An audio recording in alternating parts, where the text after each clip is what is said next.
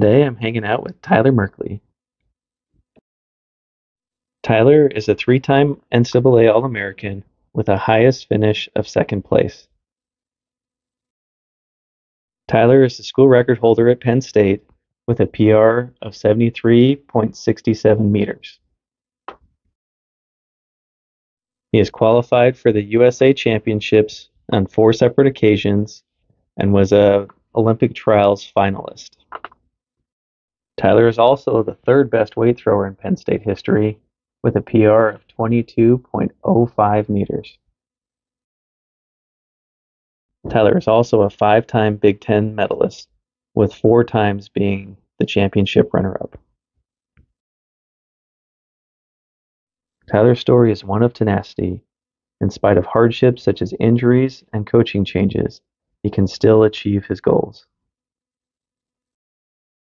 Tyler is living proof that you can turn your disadvantages into an advantage if you just believe in yourself.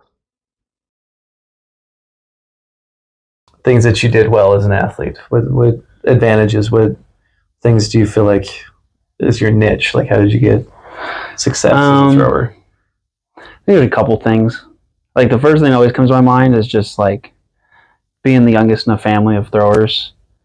I feel like is a really big benefit. Um, my oldest brother always reminds me of that.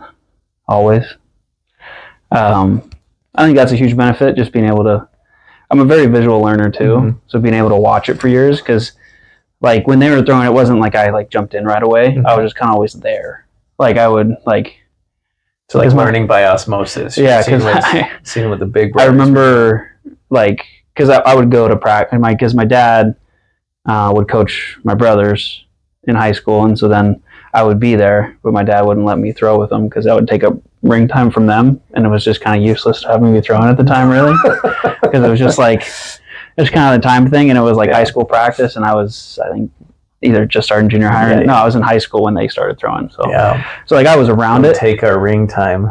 pretty much Yeah. and so like I was, I remember like shagging in the field, and I would like throw them back, and I tried to throw them as far as I could back, and just keep. them. So I was, I was like getting. I was like getting reps with a one six at like you know in high school with discus, and so I was like throwing it back, throwing it back, and uh, like I remember I would like try to do like a little like South African throw back, and I remember like you know in high school they have like every ten feet marked Yeah. out, and I'd like like oh I threw that one twenty feet. 20 feet. This is huge. and I would like check, and then as I got better, I couldn't throw them back as Yeah. hard because I started throwing them towards them too much. And, Yeah. But so that was, I think that's a huge benefit I had is just being around it hmm and being a visual learner, Yeah. super beneficial. How many brothers do you have? Just two, Two. yeah, all spaced out three years apart. Okay. So like a So you Nice have uh, ladder. some memories of like senior brother and freshman brother type of thing. Is Yeah. that- yeah. yeah, so that was cool. Um, the uh, it was nice because when my oldest brother left for college, like we didn't do hammer at all. Like we didn't really know what it was. But then when my oldest brother got recruited, they're like, "Hey, you should do hammer," because he was a good shot disc thrower, but you know, national wise, he was you know the good end of average. hmm And so they're like, "You should do hammer," and he's like, well, "I don't even know what that is." So he went. They taught him a little bit. Not that the hammer coach that he was at was anything special. He was a decathlete, so like decathletes don't know much about throwing hammer. So, um, so like it, Typically, no. Yeah. so it went, you know, it went as good as you'd think. But then because of that, then my middle brother started throwing hammer. He trained with uh, Conor McCullough Senior, technically also a junior, but junior was throwing Yeah, yeah. at the same time. Well, And so like they got that type of stuff. I was never there for those lessons.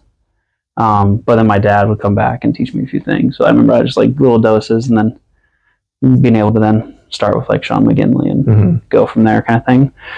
I think that was a huge benefit for sure. And then, I mean, I don't think many people see this as a benefit, but I think being small is a benefit. Mhm. And it's not anything to the physicality side. It's all about the mental side because everyone tells you you suck because you're small. Okay. Yeah. And I've always had a pretty healthy chip on my shoulder, still do, Yeah. Yeah. still do. Um, and so I think it's always been beneficial. It's like, well, I don't have any levers to lean on hmm so I have to be technically proficient to do Mhm. well.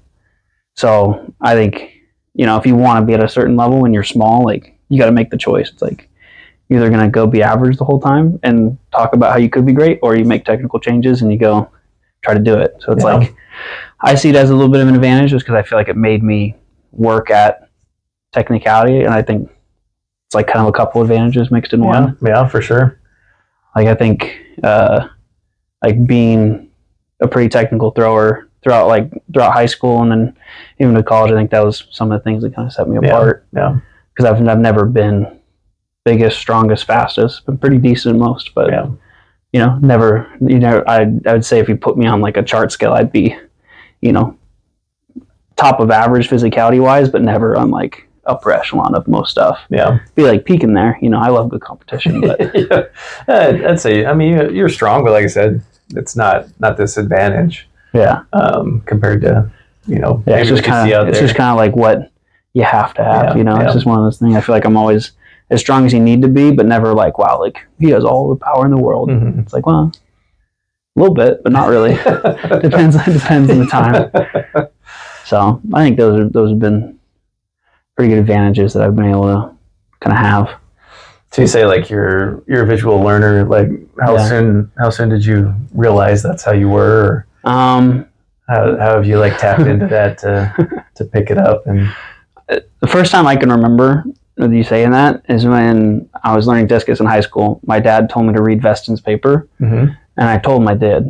I obviously didn't, Okay. and he was like, "Did you read it?" And I was like, "Yeah."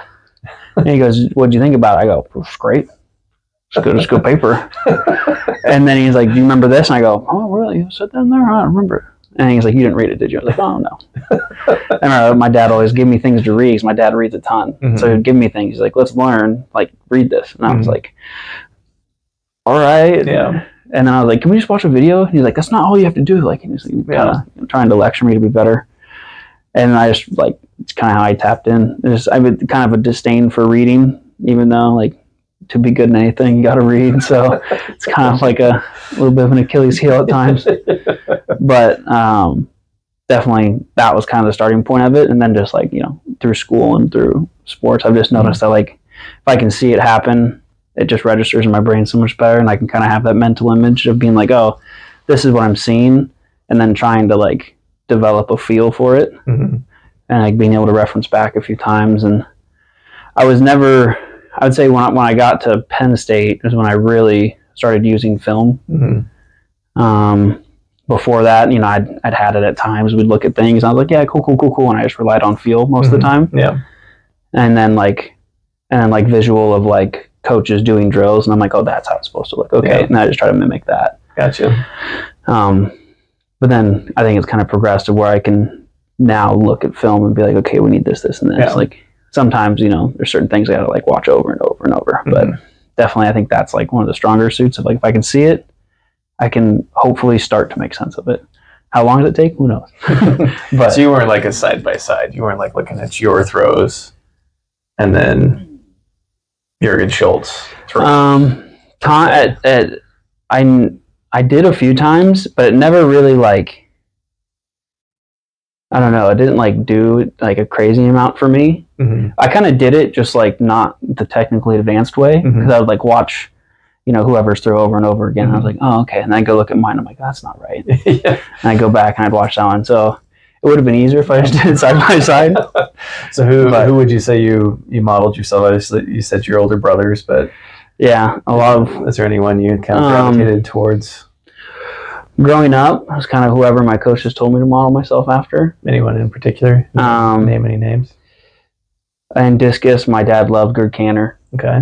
Um, so he would always have me. He you know, he just loves Gerd Kanter, so Yeah, we- we'd watch yeah. a lot of Gerd Kanter stuff. Um, watched a little bit of Mac Wilkins stuff, but never really was the way I threw in discus. Hammer, I mean, just a lot of uh, basically like every old Hungarian when I was in high school, and then as I uh, you know progressed, it was a couple different ones. You know, a lot of like tour coached people at some point, kind of just like evolved with the coaches that I had and the Mhm. way that they kind of had their technical model. Mhm. And then I would try to look at just trying to like bridge that gap between like what the coach was trying to get me to do, what did people that ran that system look like, Mhm. and then how do I implement it. I don't know if there's uh, one thrower I've always loved watching. Not that I really throw too much like him at all. Is uh, Primož Kozmus. Okay. Yeah. Love watching Primož. That's just like What do you love? Why? it's just so smooth. Okay. You know, I don't, I don't know what it is. It's just like it's one of those things. Like every time I watch them, you just Yeah. the ball just moves so well, Yeah. Yeah. and I mean, it's just pretty dynamic. I mean, Yeah. you throw over eighty meters that many times. Yeah. Like, you know, he's doing something right, right? So Yeah. Yeah. His his flow of you know turn to turn, like how he accelerated super, it, just relaxed super shoulders. smooth. And Yeah. it's just like, yeah. And also that uh, the the time on the was it, yeah the Olympics when he won the Olympics it was just like wow. was Cool. Yeah, that that was, was a cool awesome. throw, you know. So like, I don't know. I, just, Yeah. I have that that video replaying in my head a bunch of times. I know uh, when I was in high school, uh, Sean would try to get me. He would talk about Primož occasionally, so I was like, "Oh, interesting." And like he would talk about like Kevin McMahon, which I don't think we throw too too much alike. Mhm. And we're just both short. really is the biggest thing. Um, so I there's definitely because it's funny. There's a lot of people who are like I have I like these five throwers is what I go to all the time. Mhm. Like over the last two years with us working together, like I've done a whole bunch more looking. I mean, I'd, I'd watched Yuri in the past, right? Mhm. Like you just watch it, and so like, Yeah. but the last few years, like watching different things Yuri does, watching different things Litvinov does, Mhm. like just looking throughout the Soviet throwers, Right. just be like, wh- what are they doing? Right. You know, and how do I mimic that? Yeah. Because it was just like a style that at the time I kind of had to switch my mind a bit. Mhm. So like at first I was looking, at I was like, what are they doing? Like, I, I don't, I don't get it. Yeah. Yeah. And so like, and as we like worked together, I was like, okay, this this makes sense. This makes sense. Why does that look that way? It doesn't make Yeah. sense at all. Yeah. Like, and you know, Yeah. we've worked through that. No, I had I had a little bit of a disconnect from how I learned it, and then it was, um, well, this is this is how Sedykh throws, and then I went to Sedykh, and he's like, "That's dumb. That's not what I do. and That's not what I think about at all." I'm like, "Oh, Yeah. you know." So like, uh, and so I'd watch the video, and they'd have whatever, um, and yeah, there there was it was separate from what he would say and what it looked like he was doing to a degree Yeah. and what was modeled. So I was like, oh, there's there's something in here that you know I got to get from the horse's mouth, so to speak. Yeah. Yeah, that's I, I would say that like Sedykh was almost the model of American throwing, based Yeah. on just stills. Yeah. Like the flip book stills of him throwing. Like, oh, you got to be in this position at this time Yeah. and stuff. And and so he's like, no, no, no, that's not what I'm thinking about Yeah. at all. especially I mean, and really in any.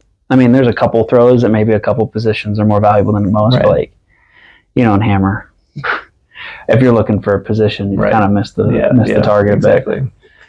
So, but I do think having the coaches I've had throughout the years, I feel like I've gotten a pretty wide range of styles, and. I've mm-hmm. kind of been able to to blend a lot of like the good things together. Yeah, no, that's that's something I, I wanted to you to touch on is you've had success with multiple coaches that are very different styles as Yeah. far as education and technique and Yeah. you know, training styles and I think, yeah, yeah. what, what do you think is like the guiding force? How did you Um, better with multiple coaches?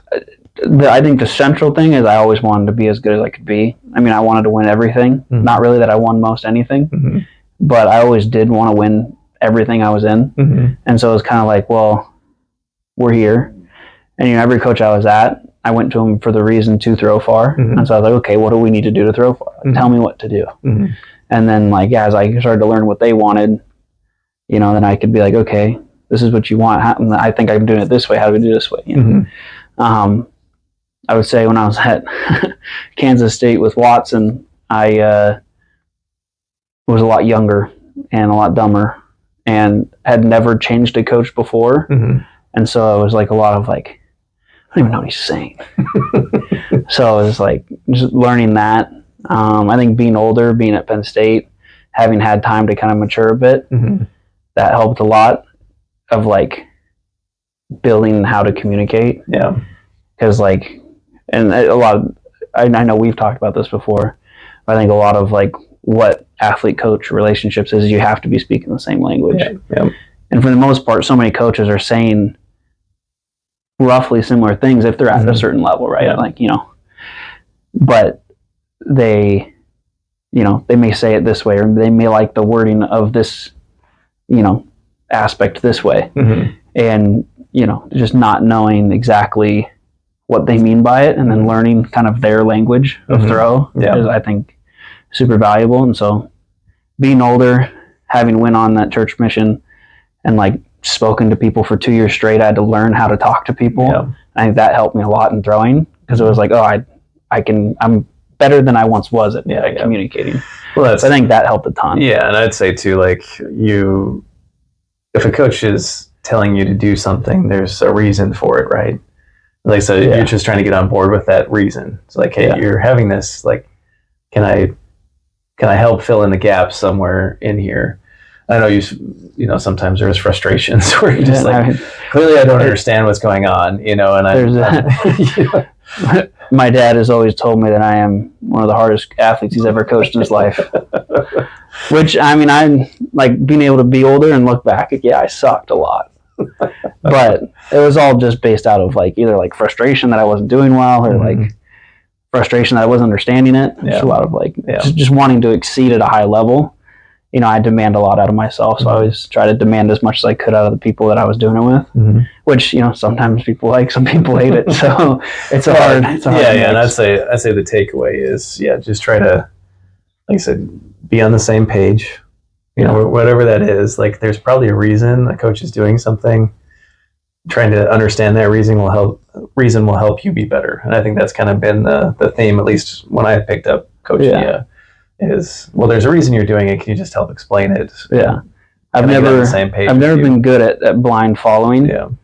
Um, obviously, when I was littler or just younger in throwing and I didn't know as much, it was easier. hmm And as you become more versed in it, you can be like, okay, I've seen this before. I've seen this before. Yeah. Why are we doing this? Yeah. Um, I know, you know, some coaches don't particularly like that. Yeah. Um, I think all the good ones, for the most part, you know, know how to work with an athlete that Yeah. desires that. So Yeah, it's well, uh, I think that is advanced coaching. You yeah, get to a point where it is communication. I think a lot of times we're we're wired with team coaches and whatever else. Like just do what I say, and yeah, you know I say jump, you just say how high. You know, yeah, and just just follow. Just do what you're told. I don't want to Yeah. explain everything all the time. But high levels of coaching is, you know, how did that feel? You know, and there's feedback, right? Yeah. So I do I think, think- there is like to have like the uber high success. There has to be a little bit of that, like we're just locking into this and we're Mhm. going Mhm. just blindly into this path. mhm. But I think there is like you have to have that conversations, like kind of like blocks throughout the path, right? Like, Mhm. okay, we're going this direction, right? Yeah. yeah okay, cool. yeah. Wait, we're still going that direction, right? okay. Yeah, and it's funny too. Like you, you circle back again of you know being smaller is an advantage, and I know when you first you said that that's shocking to me, but um, I think back like how many people just said I couldn't do things and how Yeah. much more motivating that was. Yeah. Did you have any key moments there where you were? Um, I, I know what drove me through most of my collegiate career was every coach that told me I wouldn't be good enough.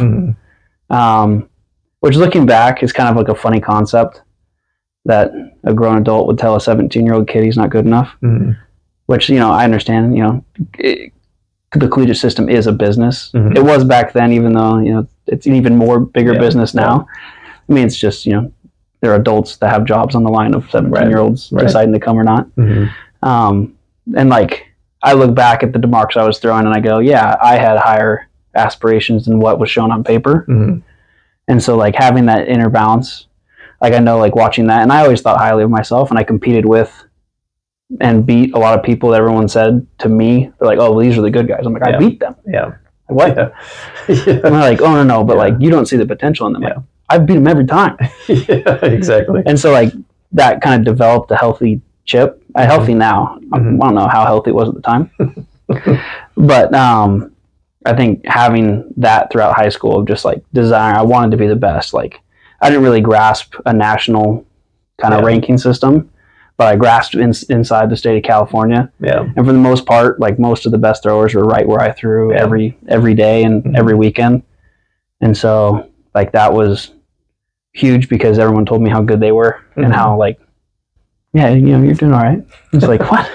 and it's like because I always wanted to win, right? So I was like, okay, yeah. well, how do you how do you balance that as a you know kid in high school? It was hard to. Yeah. I definitely was not good at it. Um, but I think like that started it, and then you know you get to college, and then some people are like, "Oh wow, you're you're better than I thought." I'm like, "Yeah, I am," and like just fueled me more. I'm like, "Yeah, exactly.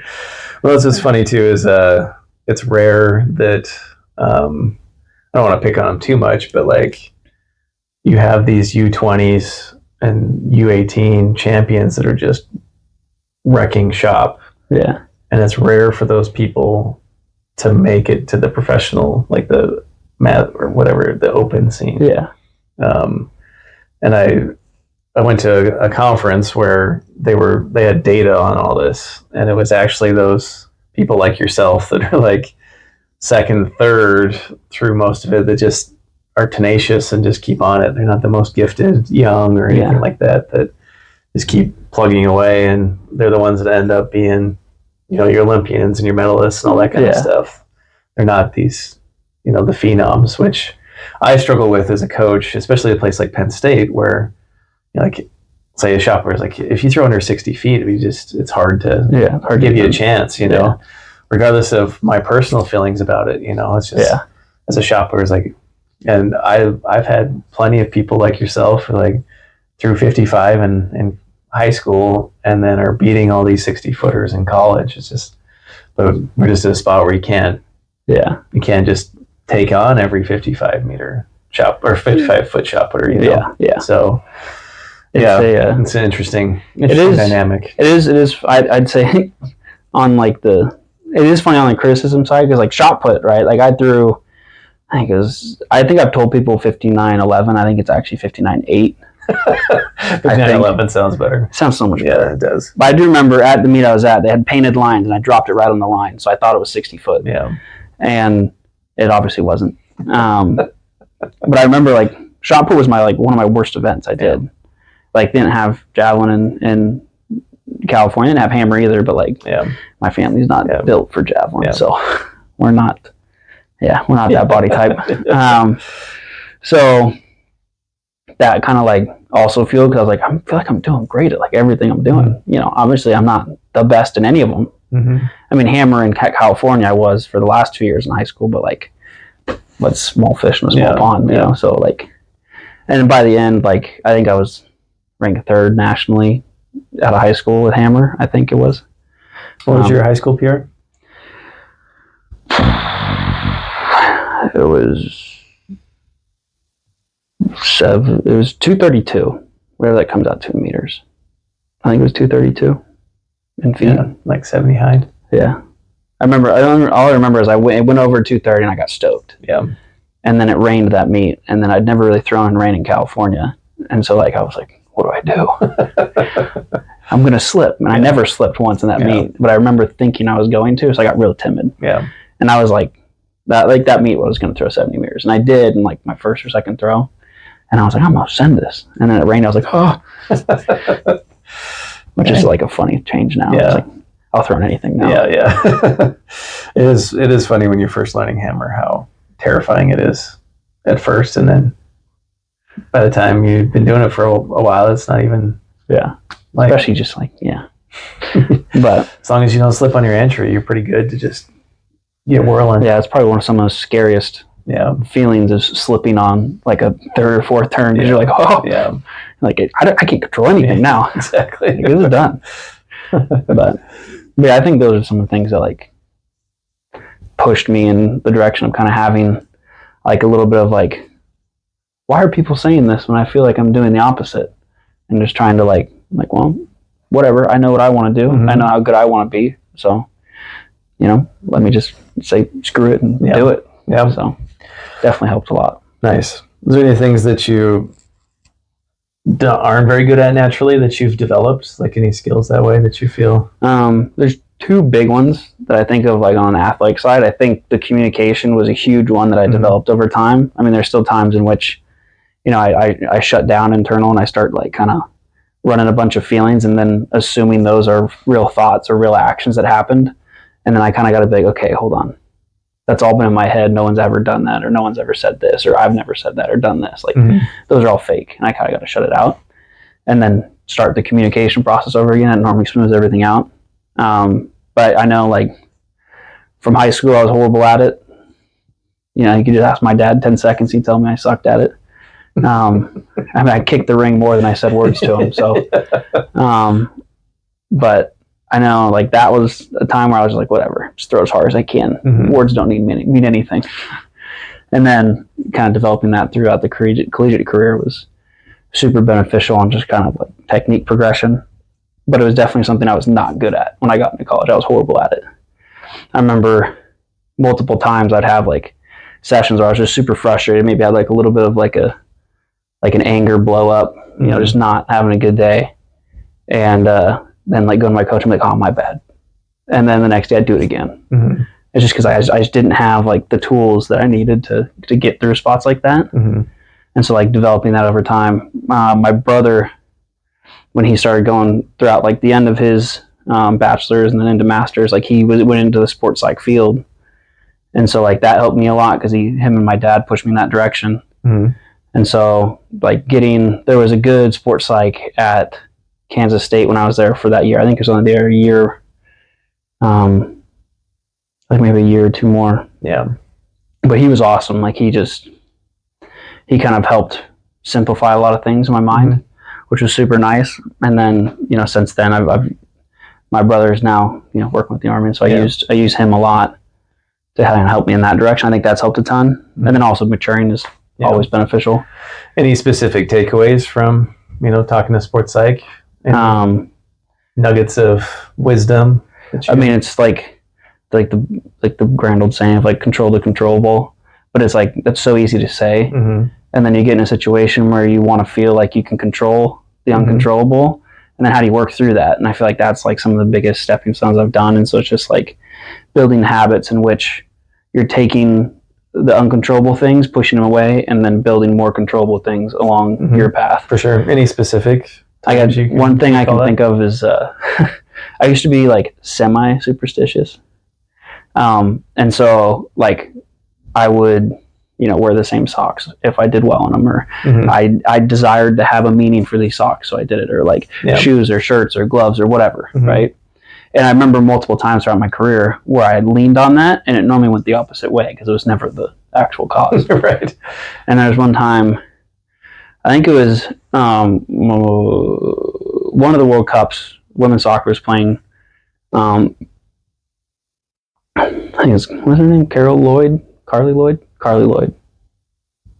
Yes, you know I'm talking about. um, she says that one thing she does is she sets out like her her boots, socks, and shin guards in a row, not to be superstitious, but to control that Mhm. every time. And she always has control over it. Mhm. So that like switched my mind with a lot of it. And it's Mhm. like, oh, like certain things along those lines aren't like none of these are superstitions. They're not controlling anything Mhm. you're the one actually controlling them. And so it's like it's not and like for and she said she's like it's not that I always have to do that. If I don't get a chance to do that, I find something else that I'm in control of and I do Mhm. it Yeah. to show that I'm in control of that moment. So there's definitely times where I didn't do that, but a lot of times I feel like I've developed a routine of like warm ups or whatever where I know I'm in control and I'm knowing doing different things, and that helped a ton. Um, and then like another like one of the next biggest things. This is probably like the first biggest thing. That one just came to my mind first Yeah. is like controlling practice environments, controlling how to learn, how Mhm. to develop skills. Like that was huge. I think that's just like a huge mental task that takes so many years to develop that like a lot of sports psychs kind of helped me to kind of like build the formula in which I did so, Mhm. which is nice because my brain works semi in a mathematical manner. Yeah. It's like A plus B equals C, let's do it. Yeah. And they're like, and you're like, well, what's what's A? And I'm like, I don't know, just do it, dude. and so they kind of helped me figure that out and be like, okay, like what's necessary, find the inputs. This input doesn't mean this output. Yeah. Like this is one thing, this is the next thing. They're totally separate. Take the information, move on. And so like definitely times I don't do it, but when I'm focusing on it, it's always been better. Yeah. So definitely like things like that kind of helped build over a long period of time Mhm. and still working at it. Yeah. You know, it's something I I uh, am definitely not diligent enough at, Mhm. but it's something that I've definitely it's it's been the part of athletics that's kind of I think grown the most.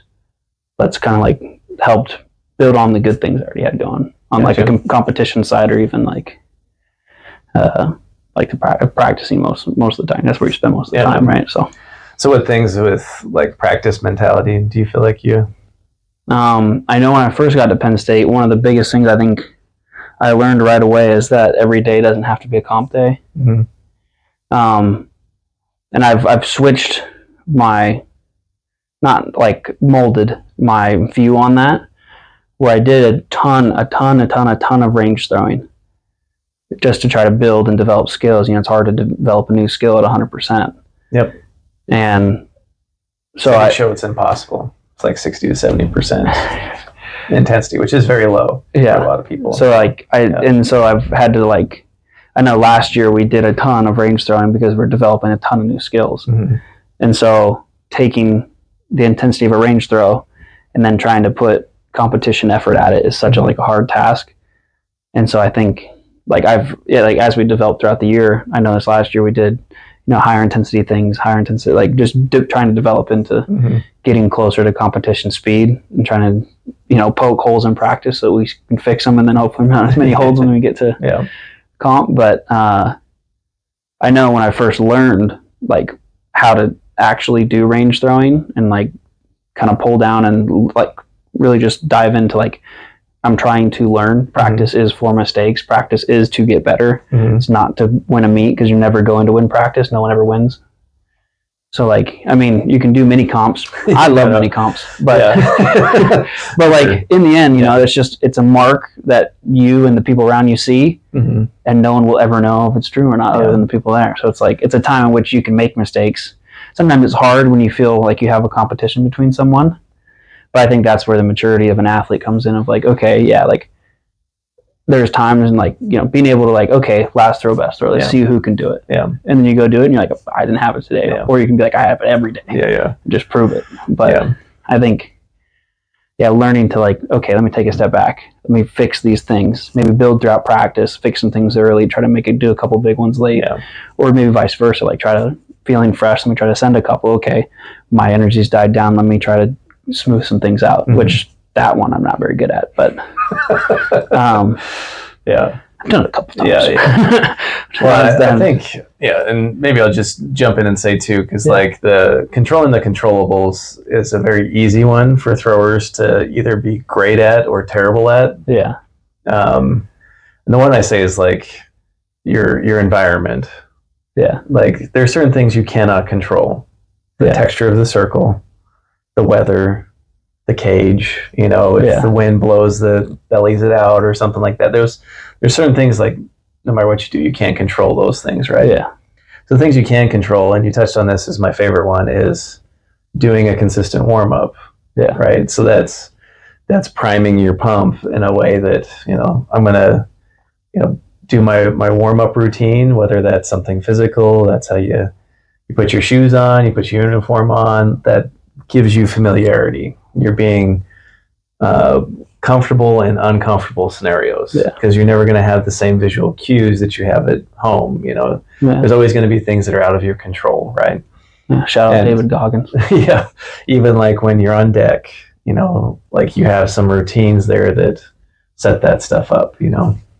Um, and then I think the practice mentality, and this is where I think, you know, with I, I try to get specifics because I think that most people want to stay at a high level, but the high level to me is you want to believe in your abilities to succeed, and you Yeah. don't want to be like patsied. Yeah, you know it's got to be something that's firm you know? I think that's the hardest part at practice is second guessing what you're doing. Am i Yeah. ge- is this going to equal what i need to be good? Yeah, and trying to get to a point where your your training mentality is like this is the best i can do with what i have in this scenario Yeah. and if you can believe that consistently and you're not just blowing smoke you know yeah, this is the firm thing that I need to be doing to get better at that.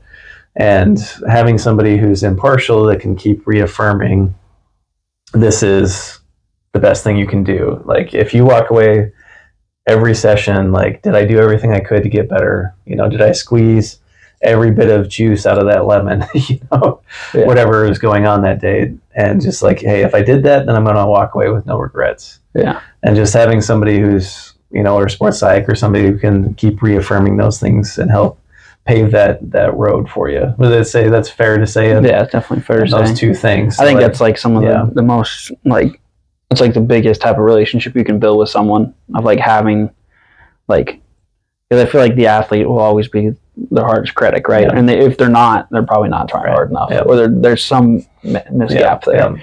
Um, so I think having someone that's outside that cares about your success but can tell you the hard truths Yeah. and then kind of fight you when you fight back Yeah. is like at least for me personally because I've always been a hard athlete and I'm like you're telling me I suck did you suck exactly. and where Well, like the person that can be like no hold on Yeah. pause like this isn't a fight Yeah. But you are sucking right now Yeah. we need to fix this Yeah. and then be like okay let's let's make some changes okay perfect we're then we're going the right direction Yeah. but I think that's like, you know, being uncomfortable, being comfortable in uncomfortable positions is like, Yeah. like I know, uh, maybe not to fully segue into the next thing is like, uh, I know in high school I hated lifting, hated Mhm. it with a fiery passion. I was pretty strong. Like my family is built in a way where we're naturally pretty strong. Yeah, yeah. And, uh, but I hated the weight room. Hated it. Hated it. Hated it. And it just was like because all the reasons that I hated it were all the reason, like all the biological things that were happening to me in a weight room. I was like, it's hard. My body hurts after. It takes so much time. It's boring. yeah. And I was like, and so I just didn't, I didn't develop that love. And then when I came to Penn State, I was told by so many different people, like, you're going to get so strong there. And I was like, really? And like, oh yeah, everyone's strong. Everyone that goes there, they get strong. They get, I'm like, okay. So like, I just like made like a conscious decision in my head. I was like, all right, like, let's get strong. Mhm. And so like for the first like, you know, three, four, five months being here, I had to like make a conscious decision in my head of like every day I'm going to push the limits in the weight room. Mhm. And it was like kind of that thing of like, oh, I need to like get comfortable being uncomfortable with how hard I need to work in the weight room to like get the, at least the strength gains I know I needed to get. Mhm. So that was definitely like another thing that like I had to work at quite a bit where I had a side of like, yeah, there's a natural, like I have like a body shape that can get strong, Mhm. but like mentally I had to like flip that switch of like, okay, need to go smooth brain Mm. and just pound away at some barbells. Like I just Yeah, need to yeah. just lo- lock in, go, Mhm. Just try to run my head through a wall. I know like some of my best workouts is where I'm like, I'm gonna run my head through Yeah. a Yeah. freaking brick wall. Um, so I know that's always been like, yeah, but it's always been something I developed for a long time, and like, like I know last summer was like it was the first time I ever did summer training with you, and so like the volume was new, and like it's not that I'd like never done high volume training, Yeah. right? But I was like, okay, like in my mind, I was like, I'm going to attack this as hard as I can. Mhm. And like trying to be like semi strategic of like, okay, like I need to push these last sets and I need to do this, and I need to do that. And being like, well, this sucks. Because for the most part, last time I was alone yeah. trying to squat, you know, like at the end of the, at the end of the time, you know, we did over 700 on the Hatfields for three. So it was like, oh, like that's great progress for Yeah. me. But that was when I did that was like one of the first times I had people in the weight room with me. Yeah. So it was like the whole time leading up to that, like you're doing like, you know, five, six, however much pounds mm-hmm. for, you know, you know, starting down in the 400s for, for 10s and 12s and then working your way up and just like doing that the whole time, just heavy lifting. I mean, man, it just sucks to do. Like some like the hardest work. Yeah. And like there's like you look back and like, oh, I'm glad I did that. Yeah. And the time you're like, this blows. My legs are cramping.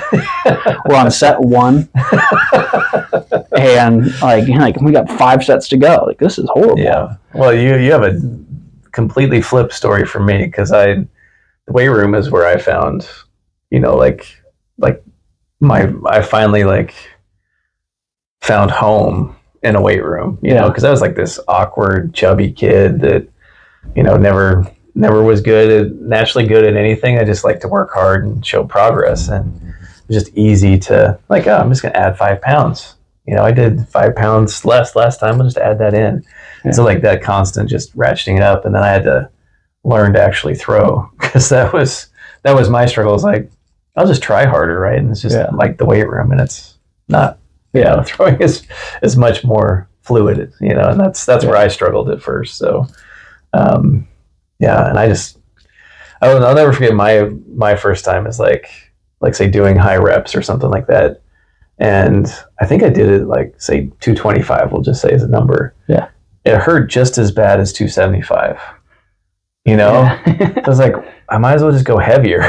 you know? Yeah. it's like it's gonna hurt the same no matter I feel like what. that's like you know, the mental decision you have to make with high reps. You're like, it hurts regardless of how much weight is on my back right Yeah. now. So it's like, how, how, how strong do I really want to get Yeah. right now? yeah, And it's like, that's like, I feel like, and those were the decisions when I was younger I didn't want to make. Yeah. And I was like, let's just leave it easy yeah, so I can throw harder yeah, tomorrow. yeah. Like, that'd be great. hmm And, you know, obviously when you're younger, you recover faster and you have all these different things that, like, as you get older, like, I know my back hurt a lot less in high school. Yeah, Well, until my senior year, but yeah. that's beside the point. yeah. Um, but yeah, that's uh, it's definitely like it's a weird, it's a weird mixture. yeah. But yeah, I know uh, you've you've mentioned a little bit here, maybe not a whole lot, but uh, it seemed like you had some injuries that you've had to work through. a Any- couple. Any advice for working through injuries? And Um, is I feel like I only really had a couple ones. I, you know, knock on wood, haven't had anything crazy that's Mhm. had to be like reconstructed or you know built up. But I've had a few where, you know, you had to take substantial time off to allow it to recover. Mhm. and then when you're back you know you have to you can't just go full bore right Yeah. away you gotta you know make sure you're making the right progress and make sure you're doing the prehab which at first i didn't even know what that was Mhm. um, i know the first the biggest injury ever like throughout high school you know like hand pain throwing shot you get used to it and, you know you throw one off your finger you feel like you just broke your hand in half and you're like oh this sucks yeah, so like little things like that going up, just like tweaks, this and that. But then I know going into like very end of my senior year of high school, I on my PR thrown shot heard my back pop, and I was like, "That's weird." And then nothing hurt. On the drive home, I felt stiff, Mhm. and then that next week was a week gap between what is, what's the Masters meet in Southern California, which is the meet right before state championship. Um, and like so there's a week gap that I had, and that whole week like I was just like crying because my back hurt Mhm. and I didn't know why. Mhm. It just like felt like it was broken. Like any torque I'd put on it just hurt. Um, and like later, and then so like that progressed did that, and then when I got to Kansas State, that same pain came back. Um, and then they realized I had a couple, I had a couple stress reactions and degenerative discs in my back, and it's just like, okay, what do we Mhm. do? And like, you do rehab every day. So like, I didn't know, and so luckily I'm like a pretty like like you tell me what to do, I'll do it. Like, Mhm. but like tell me we're, why we're doing it, you know. So it's like like we, we you need to get your course stronger. I was like, okay. So every every morning, my freshman year, like even before I went in, I was like, hey, like back hurts, it hurt, it's better. What do we do? And they're like, and so they already started this. And then when we got the diagnosis of like, yeah, like, because I know after one practice, went down in the training room and they were like, kind of like fixing it up.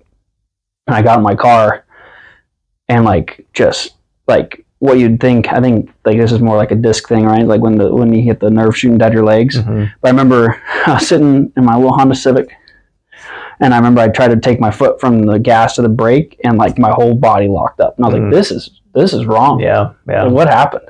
And you go get the uh, MRI taken. They're like, "Yeah, your back's messed up. You got to take some time off." And I was like, "That was like the hardest thing." I was like, "I was like, I feel fine." And you pick up a hammer, it doesn't feel fine. Yeah. Um, but that was like the first time I ever had to like do the process, and so I know like every day it was just like a routine of like just chipping away at it, chipping away at it. That was like the first time I ever got like true core strength, hmm to where I was like, yeah, like I have a strong core. I can do these exercises for a certain amount of time. I can do these different things. Like there's things I remember doing after I'd gotten healthy and I was continuing to do stuff with the trainers, like doing boat holds. Like I could do it for a minute. hmm I try to do that now. I'm just shaking. You know, I'm just like thinking of different things like, oh, like that. You know, it's where, you know, the rehab then becomes prehab, which then becomes just being a better athlete. hmm I think definitely like things that I've been able to apply from those early experiences, like when I busted my foot up, um, and then like then you know uh, at USA's and pre meet um, Oh, yeah. our year, Yeah. you know, getting my lat kind of messed up. It's just like, well, how hard do you want to push yourself? I think that's like the biggest thing that an athlete can tell themselves, and each person has a different level. hmm I've always wanted to push myself to the farthest limit. And it's like once I once my body can't stop, is when like once my body can't go anymore is when I'll stop. Yeah. And I just wanted to find those limits all the Yeah. time. Yeah. I know when I first started working with McKay, um, he was like, "Oh, well, you know, we need to find limit." I was like, "No, throw me till I drop." It's like I want to find where our limit is, so we can Mhm. pull back from that. And there was times where I was like, "Yeah, we found our limit," but but then I'd be like, "Well, was it really our limit?" And then like push myself. And so you know, there's a couple things probably came Yeah. from that, but like I think in those instances is where like you determine what kind of athlete you want to be. Because I know like in USA's, you know, there wasn't much throwing that was going to happen after. So I was like, well, we're going to throw regardless. Yeah. And I was like, I, you know, we had some decent success at the meet, which was cool. Um, but I think throughout those times is when Would you, you throw? determine Would you throw a 70, 71. Yeah. It was pretty cool. No entry really. well, I'd say like outside of your entry, like that's some of the best technique you've had, which is kind of surprising, right? Yeah. So it's Um, just like, I just think those, I think injuries are when you can determine what athlete you're going to be. Yeah. Because it's like one of those, it's like I can't do my sport anymore. hmm and I have to now determine like how hard do I want to work to get back to the thing I want to do. Mhm. And so a lot of injuries break people, you know, and they're like, well, you know, I was struggling when I got hurt and now I'm done. And you're like, okay. Yeah. I, I I've always seen it the opposite way of like, well, I have I have not seen my full potential. I know my potential is more than that, and I have to get around this obstacle to get to the next one. Mhm. You know, there's moments of like anger, grief, whatever you want to call it throughout, Yeah, throughout the yeah. path that you kind of got to work through, and each person has their own path. But I've always found like throughout injuries, like knowing what your goal is and then focusing primarily on that and what gets you to that. And mine was always like, I want to throw again. Yeah. I've always wanted to throw again. Like I have not found my limit yet. If I don't do it again, we're not going to find it. Yeah. So like just doing those different things. And I know when I hurt my foot and I think that was 2021. um, it was one of those things. It was like I told one of the doctors, I was like, just throwing it till it breaks because it was uh, a bone. It was a stress reaction in my navicular that just was like, I was like, if was like, would it break if I threw on it? They're like, it could. And I was like, is it guaranteed? They're like, no. I'm like, all right. I was like, it gonna hurt? And they're like, yeah. I was like, all right. I was like, so you're just telling me I have to toughen up? And they're like, yeah. I'm like, all right, let's do it. And so it's just like different. You know, it's not like what everyone should do, but decisions I made. Yeah. So when when did your back flare up? Um, your freshman year was that preseason, in season? Um, preseason. So I, I How much time did you have to take off too? it was a full. It was at least a full month's of rest of doing nothing. I couldn't do anything for a month. No lifting, no throwing, no like only rehab stuff. Mhm. Just just core, some mobility stuff. That's all I could do, and it was all based around tolerance at the Mhm. time. And because it was only like discs and stress reactions, like it came back Mm-hmm. relatively fast on you know uh, range of motion. Mm-hmm. and it wasn't like bulging or herniated so Yeah. it was just you got crappy discs let's get a stronger core so like that you know those went away quick and so it was, it was about a month of nothing and that was weird because it was like you know you're in this limbo land of like yeah i'm doing some exercises but i'm doing nothing of the sport and you're getting to the point where you're like i feel good Yeah. like, let's do something Mm-hmm. you know, I you know didn't listen to all the doctor's orders throughout the time. Like I know I uh, would go to like the rec with people on my dorm floor and play volleyball, and probably not the smartest Yeah. Don't do that. Nobody should do that. Yeah. Um, But I know it was like in that time it was like a weird headspace because like I feel good to go. hmm They're like, no, hold up. Yeah. Um, and then throughout, I think like about the next, I, I want to say it was a month. I don't remember super well.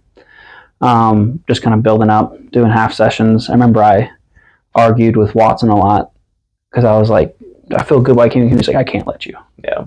And, you know, those are, you know, policies within place Yeah. for a reason. Um, It's nice to have athletes like that, though. yeah. I was just like, I was like, dude, I just, want to do more I just want to go. the reverse. But so like those are it was definitely it was a weird that that off time was a Yeah. weird time yeah. because it was just like yeah i'm making progress but like i can't do the thing i want to Yeah. do So what what things do you feel like? So you were hungry for it, and I think there was a learning aspect too, right? Technically, and you know, obviously, you're working on these are gaps I got to fill in physically. Because you still you made it to nationals, right? You threw a PR at Yeah, regionals. yeah, Uh, that's that's why I want to highlight some of that stuff because like you, you get hurt and you're you're told like okay you stress react your back and you have degenerative discs and you know potentially bulge discs and you know like well let's just get strong and then you had to take time off then you were half sessions and a lot of times people would just kind of scrap that year yeah. you know and I think that's something that I think- props to you to I think one thing, like within that mindset of like, so when I was getting recruited, I told everyone I was going to go on a church mission. I told everyone I was, it was one year and done to start. I was going to be gone for two. I told everyone that throughout high school recruiting. And so I think what helped me in that scenario is I gave myself of like, no, I have to do it. yeah yeah Um, where, and I think that's something that really everyone should have every year. every year yeah It's not something that should be just like, oh, I got two more. I I can use wanted you to say it instead." not me yeah, it's, it's, I think I think that's something that that Yeah. you know, looking back, helped me a ton. But it's how I should have approached every Yeah, year. yeah. Like you shouldn't scrap a year just because whatever. Yeah, right? that's that's one of my biggest pet peeves. Is like, well, there's next year. It's like, no, no, take advantage of every. and I think that's another thing of like, Yeah. what kind of athlete do you want to be? And I always wanted to prove myself how good I thought I was. Yeah, yeah, Um, and so yeah, it was definitely an interesting thing. And I know, you know, throughout my career, weight's never been my strong suit, but I was able to kind of work through weight pretty well, which was nice. You know, through just over 19 meters as a freshman, which was pretty cool. hmm You know, it's definitely not standout season, you know, of, of crazy freshmen, but um, there's some monsters that have come before and after me that I am not on the caliber Yeah, I of, mean, ni- but 19 as a freshman is Which never, was- that was- never a slouch. that was pretty cool. Yeah. Um, which was, and it's funny because like the throughout freshman year, there's so many different roadblocks that I can look at. Like, first time I was ever told I can't go to a meet was my freshman year Mhm. because it was a it was a tri meet with Kansas State, uh, Kansas, was it. Yep, KU, yep. You and, can only have two people. and Yep. Wichita. So there was only two Yep. people that could go, and uh, I was not the two, and it was clear. It's Yeah. clear as day. I was not the guy. I was the fourth at that Yeah. time by a long shot. Yeah. Like I was, I just was the fourth Yeah. and like I didn't like it in my mind. I was like, I'm not the guy. That, that's not me. But it, like looking at it, like, yeah, okay, I'm not going.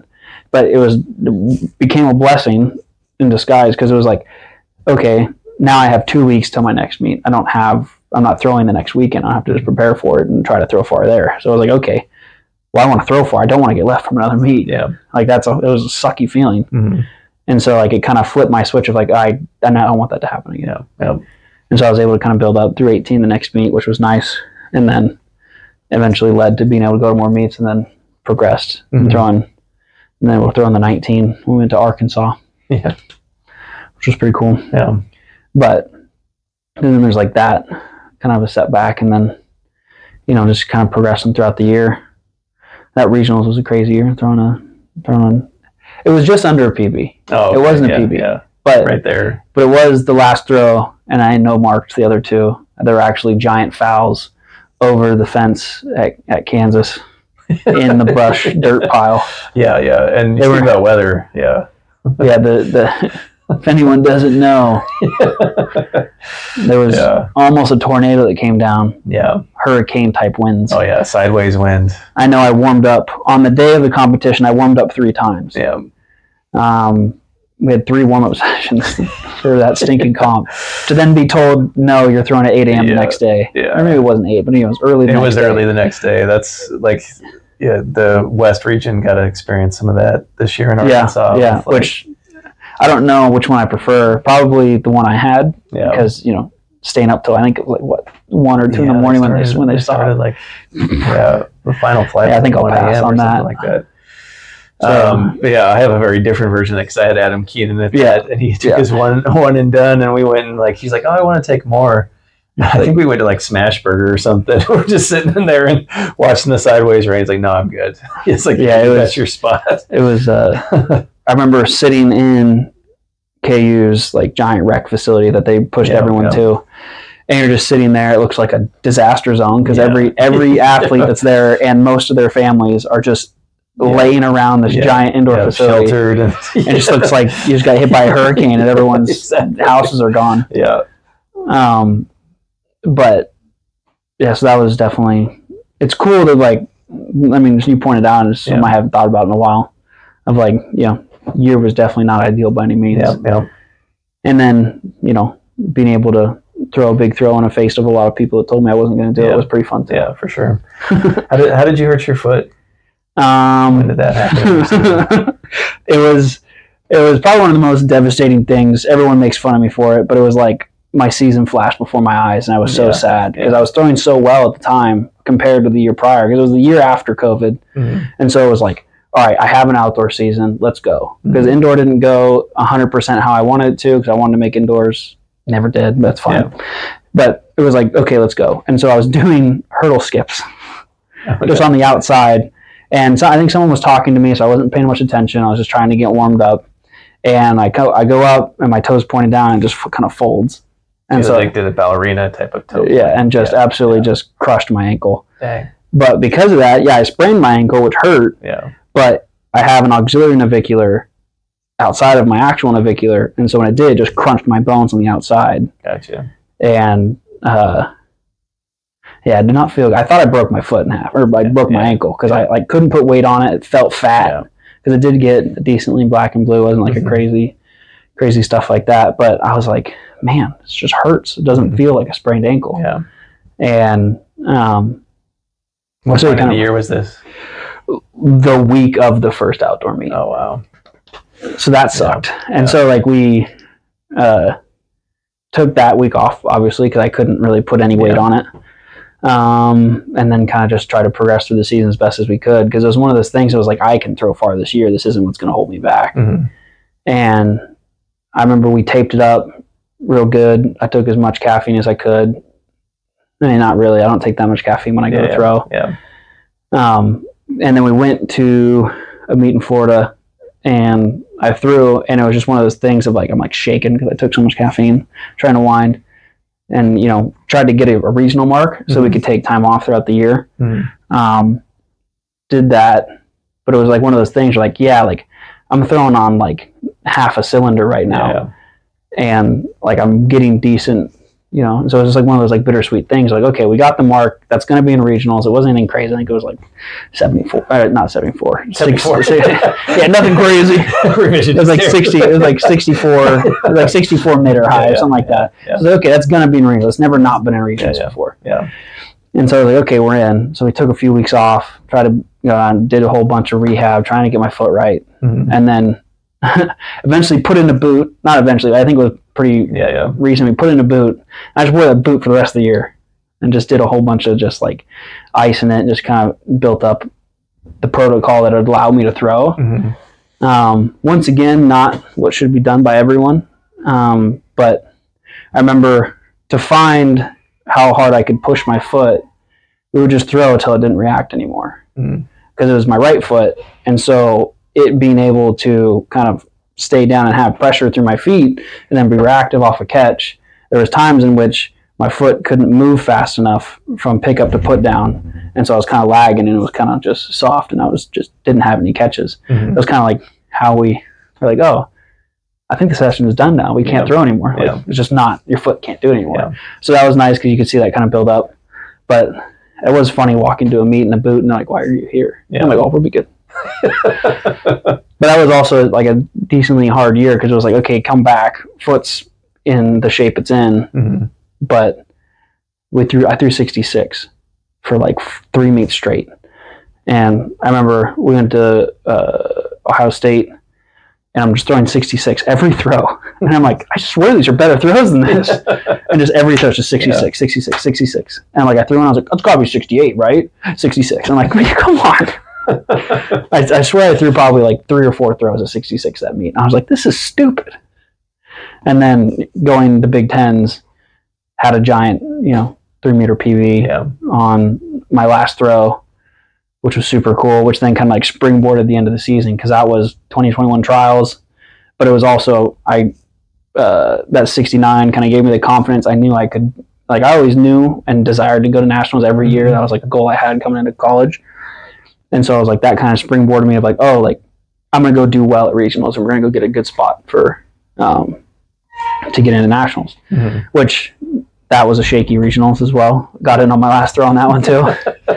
um, it was kind of like a hope and a prayer throw. I threw it and I was like, that's not a good throw, Yeah. but it went 67 meters. Yeah. Got through, so I was like, that's great. Yeah. But then NCAA's throw 70, so to like kind of have that season of like start with a giant rolled ankle. Yeah. Don't really know why it's not Show getting up in a boot. yeah. And then to be able to throw Yeah, 70 yeah. and then go to my first ever USA's and it was being at Olympic trials was like that was one of the coolest years so far. I'm just like, Mhm. oh, because you know, I none and like in the NCAA's, I got ninth that year, so like making finals for starting was like really cool. Mhm. But then going to USA's, I was just like, it's a fanfare for me. Yeah, I yeah. Like, like, yeah, I want to make the finals, but I made Whatever- it. whatever Yeah. happens, happens, you know? so that was cool because Yeah. like I like I could take the step back and be Yeah. like, this is a really cool event. yeah. Yeah. But then you know now it's not. It's still extremely cool. It's one of my favorite. Like this last year was still one of the coolest things because like there's nothing like a, Yeah. a track and field Yeah, Olympic trials. There's no other year that compares. Yeah. Yeah. And you made the final there. so yeah, that's first ever. So that's cool. yeah. So just yeah, there's a lot of.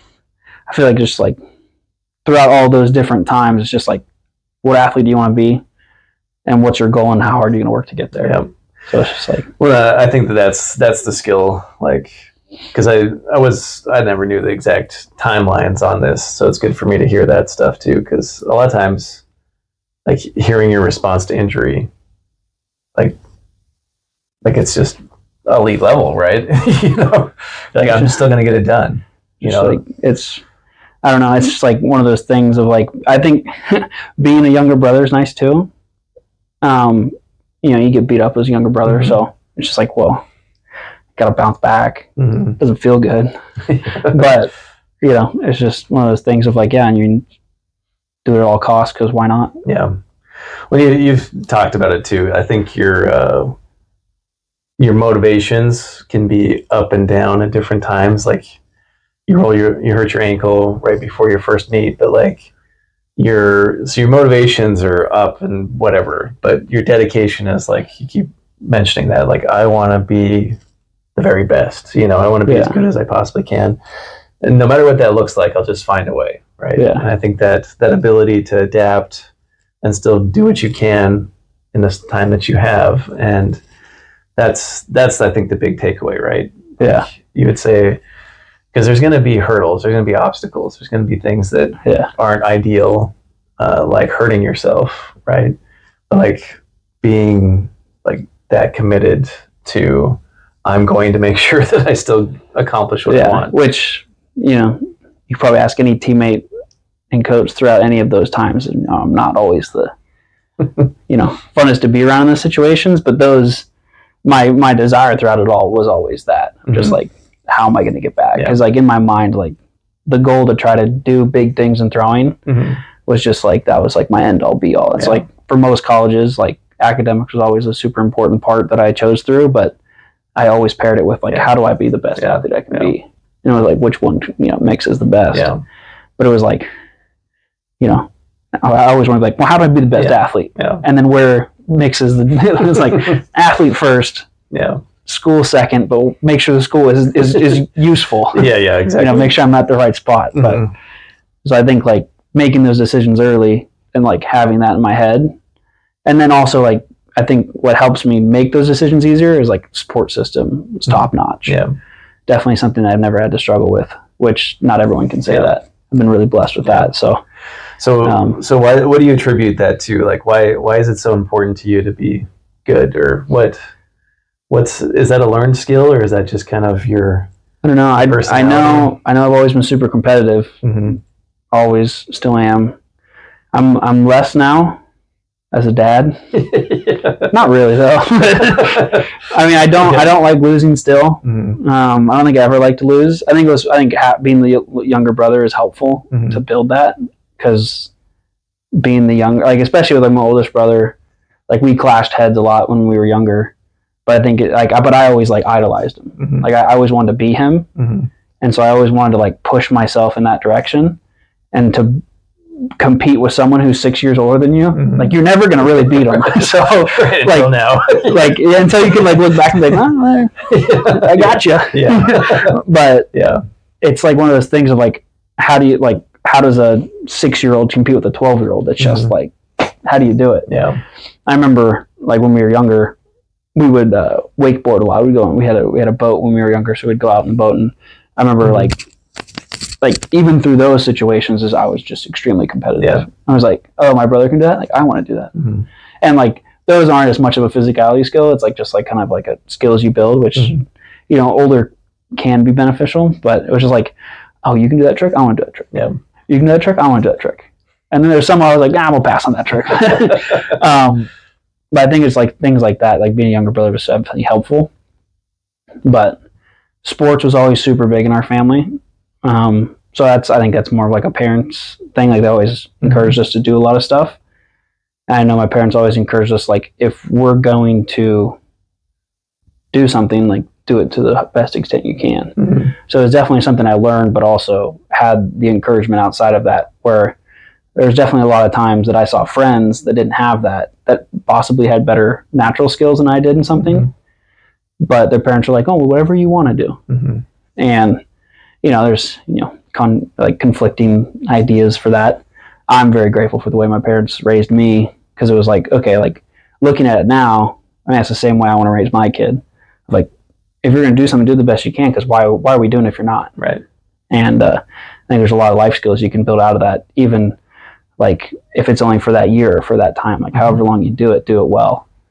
Um, so I think it was like a mixture, Yeah. you know, it's like, I think it's like the biggest mixture of like nature and nurture there Yeah. because I definitely to this day, without having them, or I still want to beat a lot of people at a lot of things. You know, like I want to prove myself. I think it's also kind of a younger brother trait of like wanting to prove yourself that you're as good as your older brothers. Um, but I think it has that kind of mixture there. Um, but I don't necessarily know. You know, I my parents would definitely say better where it started.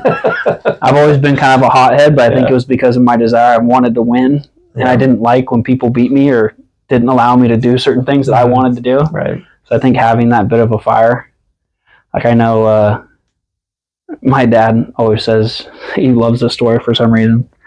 That when we were, we played roller hockey growing up, and uh, I scored a goal, and then got mad because I didn't score it the way I wanted to. Mm. It's like we just scored a goal, and so like I, I don't I don't know where I learned that or why I thought that way at the time.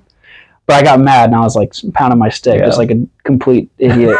well, there's a pickiness there, right? I Yeah. think I think you have to be picky, and I I think really good athletes are very picky because they want to do things the right way, right? Yeah. They don't want to just have mediocrity. You know, if, if I can if I can do it better, I want to expect myself to do it better. yeah, Um, and the, the thing I always come back is why. You know, like we have these very highly motivated, uh, highly like, you know, they're just motivated. That's, Yeah. I'll just stay at that. Like, like, why are you so motivated to be this good? You know, and and you're Yeah. like, well, I just, I've always been that way, or I've, I feel like that.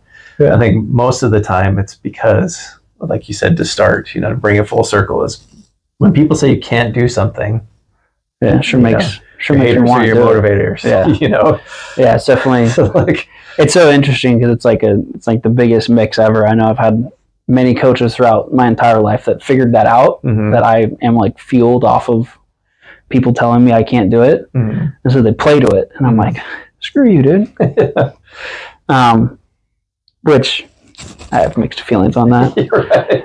Um, Well, it's, it's tough as a But- coach, right? Because you got to motivate in a way like that, but you also got to be on the same team. yeah, yeah, And it's it's it's such a tough balance. It's like, ah, you can't throw seventy five.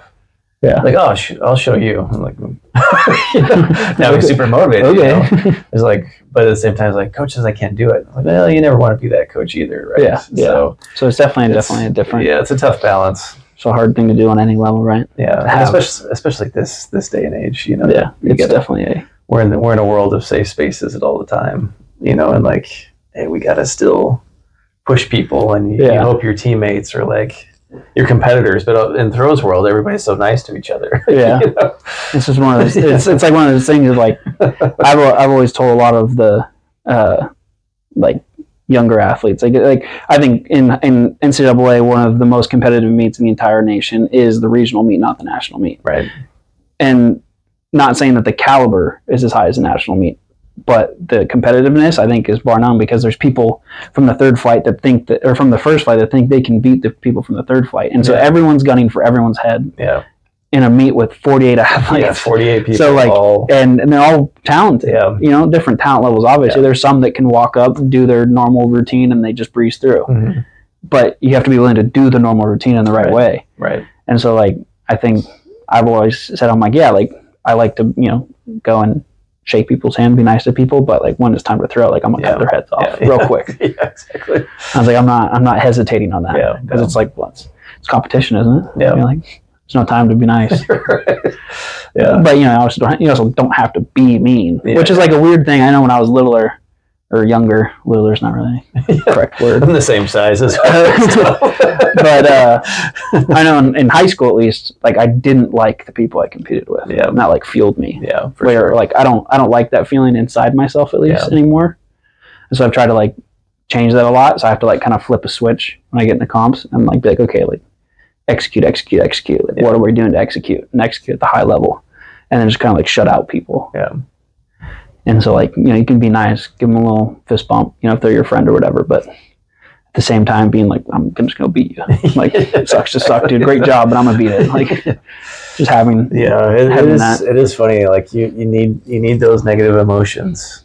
Those are. it's just like it's such a weird. It's the thing that I know Yeah. From the time I came to Penn State. It's something that I've tried to adapt in myself because I don't. I was angry for so long when I Yeah, was a yeah. kid. I tried to like adapt it, and I'm like, okay, like how do I, how do I change that within myself, but get the result I need? Yeah. Yeah. And it's a very like Right. up and down effect because there's Yeah. times when I'm, I'm I'm like pissed right now, but I'm Yeah. also doing the best I ever have. Yeah. It's like okay, but I think it's just like, well, why? Like, how do you find the Yeah. motivation that it takes? You know, when you're angry, outside of mm-hmm. being angry, Yeah. but it's all just about motivation and whatever can drive you to that. Not Yeah. that anger is always bad. Well, I, yeah, I'd, I'd say like you, you got to take it. You got to take things personal, right? Yeah. Which It's classic Michael Jordan. yeah, you got to take it personal, right? You got to like if if you fail at something, you got you got to take it personal. But Yeah. you know, that's that's where I say like it's it's hard in like this safe space area to Yeah. be like be okay with failure, but taking that personal, but not too personal to where you beat yourself down. It's a weird balance, right? So like, like no, I, I expect myself to be better. Yeah. Yeah. And I'm taking that personal to make sure that it's important to me to, to be better. Yeah. You know? Yeah. Hundred percent. And- And it's definitely if you if you like shirk off a failure you had, you're not you're skipping an opportunity to grow. Right. And if you like, I think it's another thing. Like, what kind of athlete do you want to be? You want to be an athlete that sees your failures and is like, "Mm, whatever. I didn't. I didn't really want to win anyway. Yeah, you did. Shut up. yeah, exactly. yes, you did. Everyone wants to win. yeah. Everyone has a chance to win. They want to win. Yeah. And so, like, I think it's the weirdest thing when people try to say, like, uh, like it's all just about the process. I'm like, I understand it's not all about winning, Yeah. but why are we competing then? It's to win. Yeah. You want to win. You want like. There's very few people who are like, I'm only here to have a great time. Yeah. Like, yeah, I want to enjoy it, but winning's super fun. Yeah. Yeah. It's a lot more fun than losing. it can still be fun to lose. Like when I was, was the runner up, I was a great me. I PR'd. I did great, but I was also still like, gosh dang, I was so close to winning. Yeah. You know, I got beat on my last throw, so it's like, Yeah. dude. And so, but I, but I can look Yeah. back and like, oh, it was a great time. Yeah. But I'm still like, well, what could I have done to win? Yeah. Yeah. And you know, I've, I've thought about that for since then, really. But it's like one of those things. Like, well, how? Like, if you don't want to win, sports really isn't for you.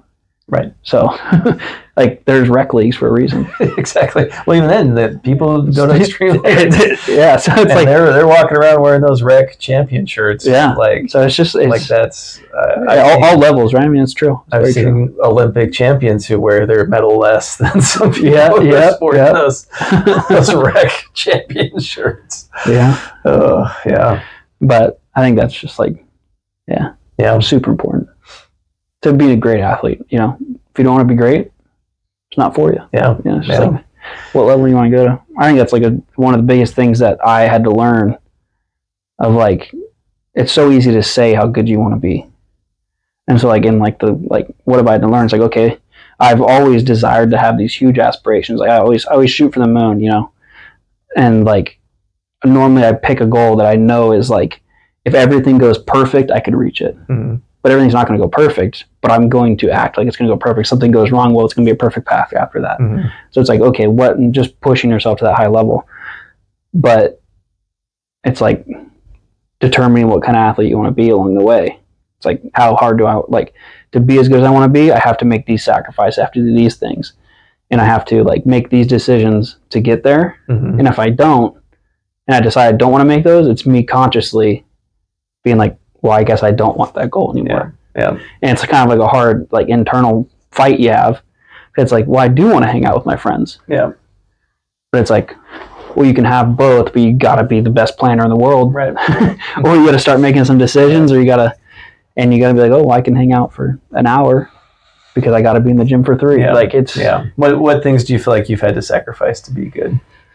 um, You mentioned time with friends, maybe. definitely it's it's it's something that I think hindered me because I desired to have so many. I think it's something I still kind of struggle with a little bit because I desire to do so many things in my life, hmm and so it's like, well, I could fit them all, Yeah. and it's like really you can't, and it's just like, you know, like you can't serve two masters at the same time. You know, it's just like, well, where do you where do you go with it? hmm and so I think I, I think it's kind of shifted throughout a lot of different things. Like, uh, like really, like there's like four main, really big things I've desired in life. And it's like sports, family, friends, and then well, I guess family, friends. Put that together, and then like I really value church, you know, Mhm. faith. Mhm. And so it's like those have been things, and I've noticed like where I put my values, the other ones always drop. hmm And so it's like if I'm dedicating a lot to track, I know those are going to take it down. So I think I've definitely like missed out on a lot of social opportunities, but I, I look back and it's like, well, I look at my friends that had all those opportunities and I go, I like my life better. Mhm. You know, it's, it's just, it's about where you put your value. And I really valued seeing my uh, self excel within sports. hmm Um, and I think it's another like it's it's really easy to hang out, you know, like Right. it's something easy to do. yeah. It's really easy to be like, yeah, I'd love to sit on the couch and just chop it up Yeah, with my yeah. friends. And so it's like, yeah, it's easy. So it's harder to make the hard decision. I think that's where a lot of young athletes fall into, of like, well, you know, it's so hard to tell all my friends that I've known for many years, or I'm trying to make new friends, and like, well, how do I tell them no, I can't come hang out with them or go to this party or do whatever? Mhm. And it's like, yeah, it is hard. yes, It's very sure. hard. Well, the- but- and the tough part is, is it's not measurable, right? Yeah. Other than your resolve.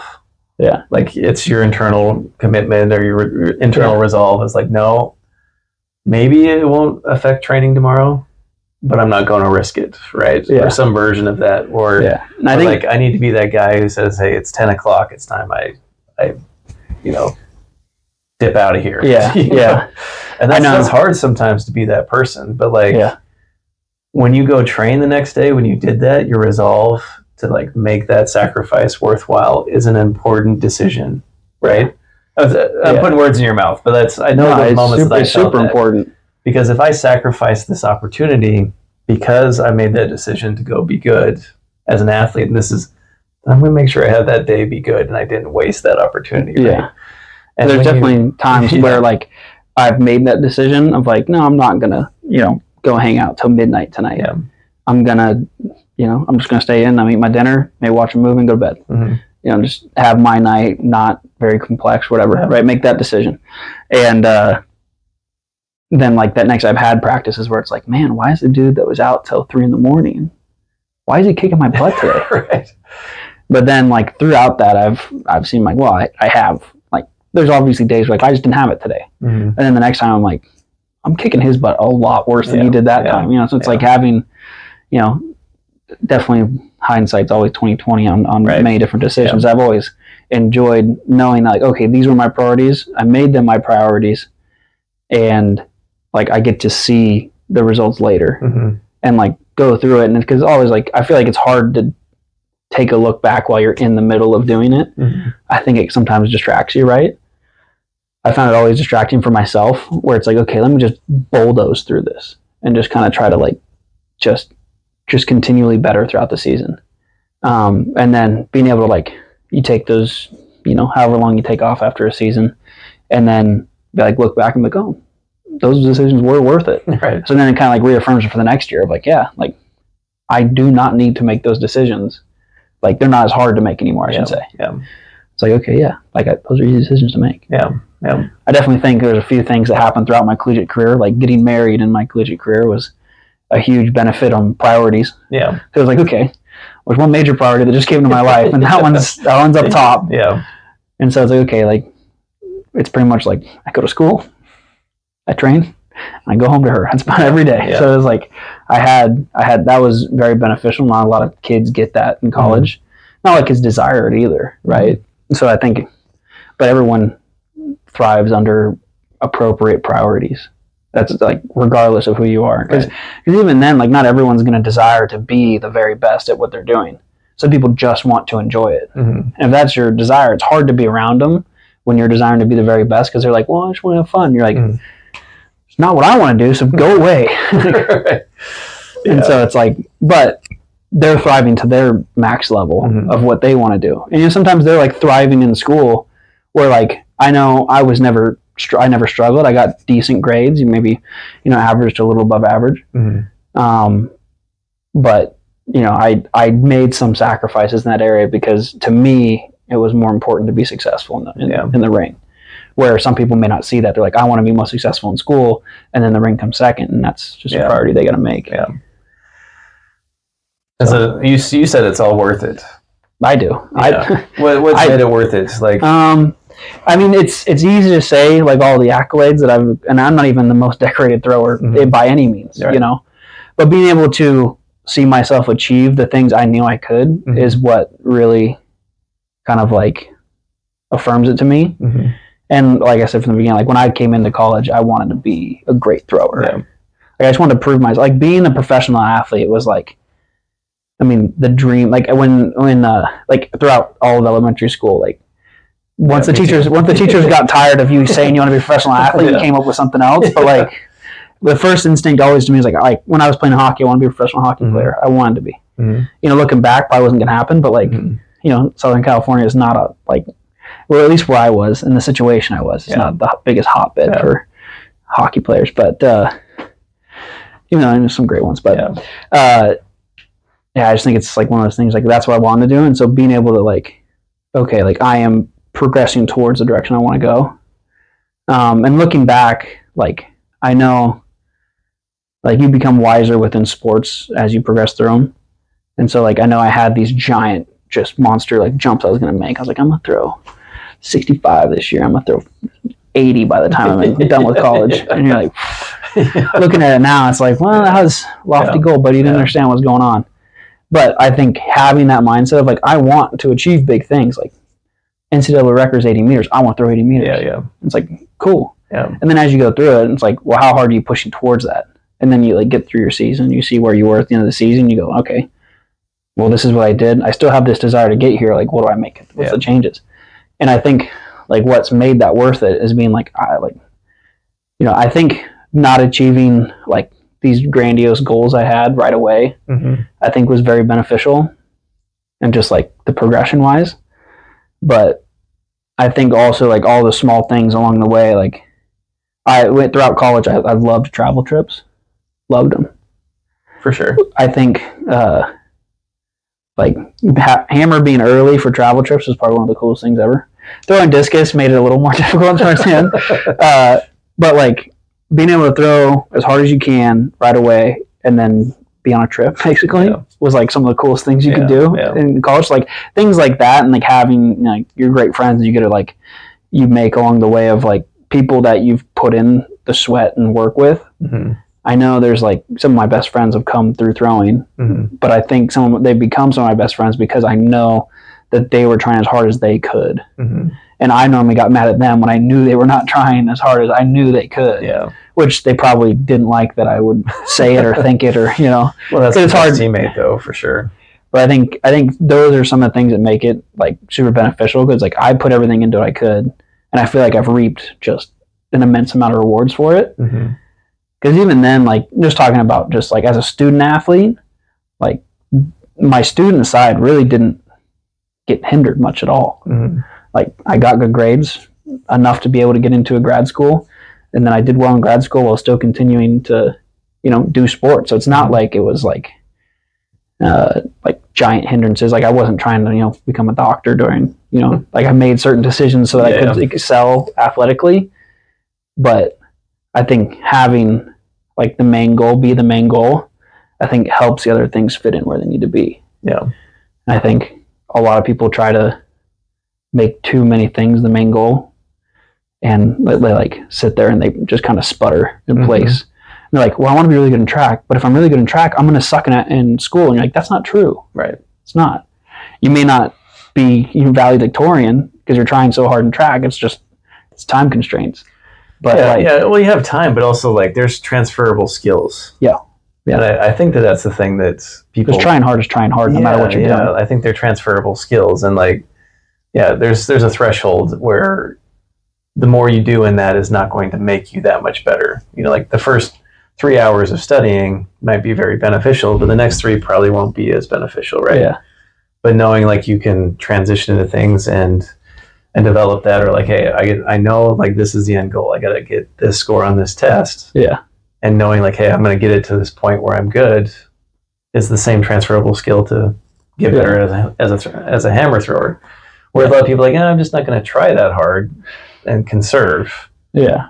you know? Normally they're conserving in all areas. Yeah, you're same time. conserving all the time, right? And that's that's the learned response. So, um, and then, and yeah, like I think it's easy to say, but um, I think you've shown that you it works, right? It, it definitely definitely can. You don't you don't have this decorated career, like you said, like I could have been better, but yeah. uh, you don't regret it. You No. know? No. You But I mean, all like, the things we've- wanted. You've accomplished everything, other than some of this set accolades. But Yeah. like mission accomplished in a lot of ways. So Yeah. Like I know um like getting second last year with, you know, seven not last year, two years ago, uh with seventy three high Yeah. in, in Big ten hammer yeah, yeah. was like, you know, the biggest shot to the gut I've ever taken. But also looking back at it, it's like, wow, still probably one of the farthest ever Yeah. second place Yeah, yeah. guys in Big Ten history. You know, so it's like, uh, it's definitely there's a lot of cool things to look back on. I mean, it sucks being just a classic silver medalist, Right. um, but at the same time, there's a lot of dudes that never got even close. Yeah. And I'm, it's nice to know, like, yeah, I did try hard enough to get to those positions to do so, and like, like I'm honestly jealous of the way the Big Ten is now because like. I would love to compete in that Mhm. now it's like it's even better. Right. Like you tell me it's, Yeah. it's better, Yeah. let's do it yeah. just one of those things. It's like it's just a, and it's like once I like got the grasp on how big, um, things could be, I was like, well, then why not we go to it? Yeah. And it's like you know, I guarantee, like, well, I've I mean, I've told people forever that like my main goal, you know, within throwing was I always wanted to achieve being an, being an Olympian, Mhm. and like people probably look at me and they're like, yeah, good luck, buddy. Yeah. Like we see ya. And it's like, well, you know, I, I, I bet I doubt a lot of people thought I would get as far as I had already. Yeah. So it's like, you know, they're not ever in control of the Right, driver's seat there. right, So, Right. and there's a lot of people that, you know, you could look at and be like, well, they're not as talented as I am, maybe, and they've Mhm. achieved it. So it's like, Yeah. I mean, it's not. I think once you like get a chance to put in as much work as I had or have, Mhm. um, like you get to see like it's very doable Mhm. and uh, just like having that like at least right now like having a bit of time to just kind of sit back and look at it and be like man there's, there's a lot of good that have happened Mhm. but it's fun because you get to look at it and like having the mindset that i've developed it's like well, there's still so much more can be achieved and there's so many areas where i can improve and it's like where some people probably like i know when i was younger like like when i got to train with with uh, sean donnelly i remember when i was a freshman he was that was his last year in college I remember watching him and i'm like this guy's awesome yeah. this guy's this guy's one of the best it's ever done it. this, is, this is awesome Yeah. and like watching him like as a freshman i'm like oh, he throws perfectly Mhm. you know like he does this and this he does you know like throwing against nick miller as a freshman um was like oh just nick miller Yeah, you know yeah. and then later like continued to throw and he continues to throw and he's throwing 80 meters at one point and, Mhm. sean throwing 79 at one point being able to throw against those guys see my progression then eventually be able to train with sean was like Mhm. just having that and like yeah it's not Yeah.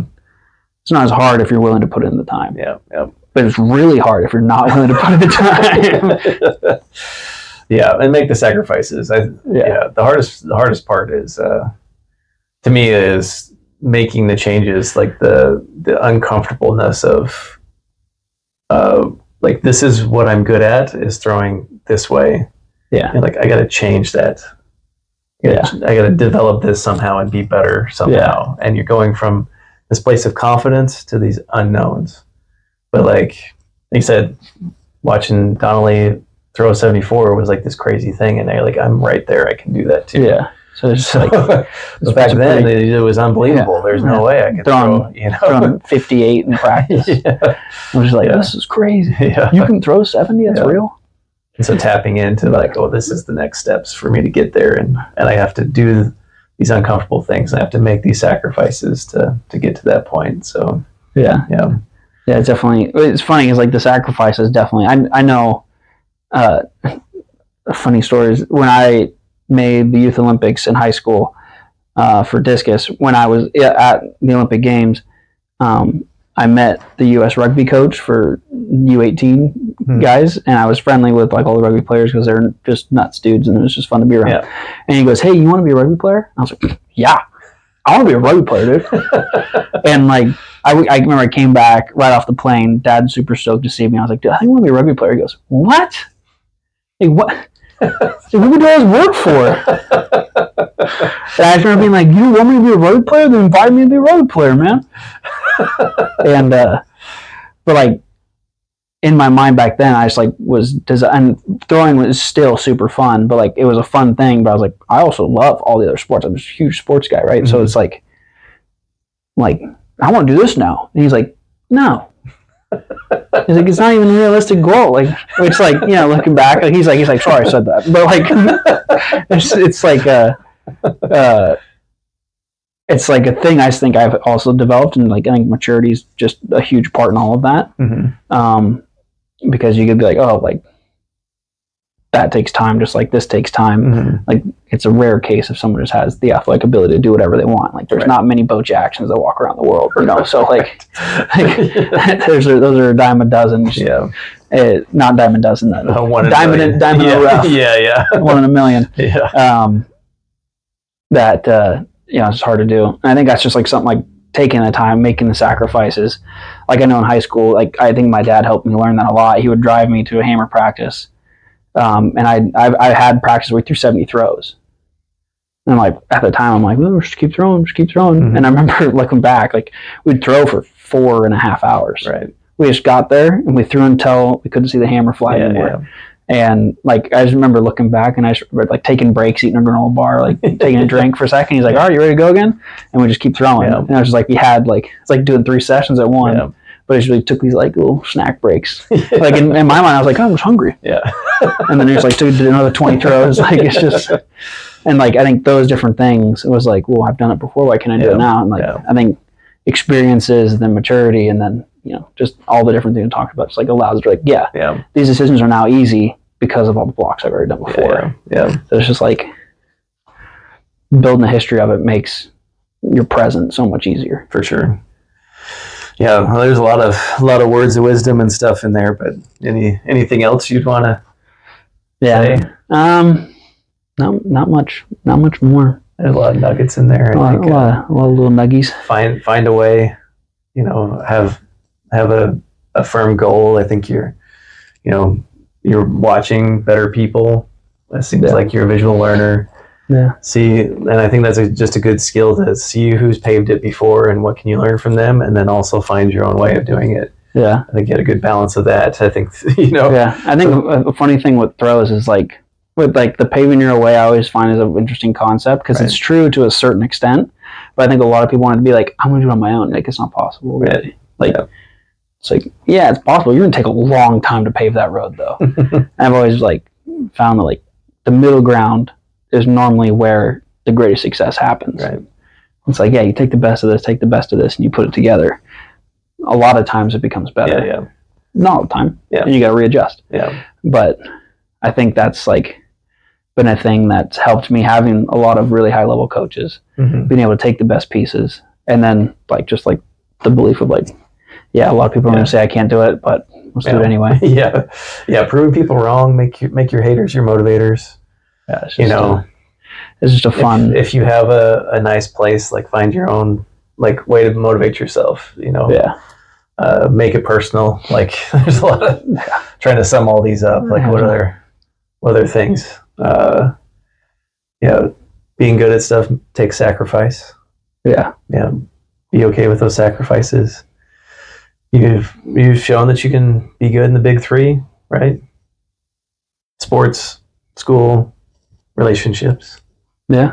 It is possible. It is. You know, it is possible. Maybe not 500 relationships, but having a good core of you know Yeah, people that you Yeah. want to be involved with, and then you're also Mr. Penn State with a lot of people, and you know knew a lot of the team, and we're friends with yeah. you know, Walter and you Yeah, I think it's- people like that too. So I think that's like a like an outside like skill that comes from trying to be. They, like we said, it's like transferable across Mhm. across so many different things. Like if you're trying to be good at this, and all of a sudden you see no one wants to be around you, it kind of sucks, dude. There's obviously something Right. not yeah, it- it's mixed wrong. Like there's isolation normally doesn't equal like supreme Yeah. accomplishments. yeah, yeah, Um, I mean, there's times in which that I, I do believe that is necessary because they can also be extremely distracting. right.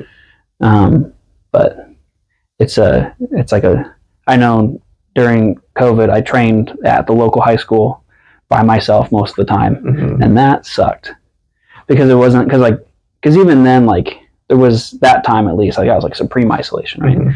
and so like not many people around not many people being able to be in contact with see um, um, blah blah blah Yeah. right and so like I think that in a normal world is like uh like the same thing of just being like like if you're trying to be elite in one thing you're gonna be good to great in the other stuff Mhm. it's just kind of it just happens through osmosis Yeah. it's kind of like well, it's funny you're, you're saying this stuff. It is lonely at the top. Um, you know, like you, only one one person can win. You know. yeah um, there's uh, like everyone says like a second place is first loser and there's one winner and the rest are losers Yeah.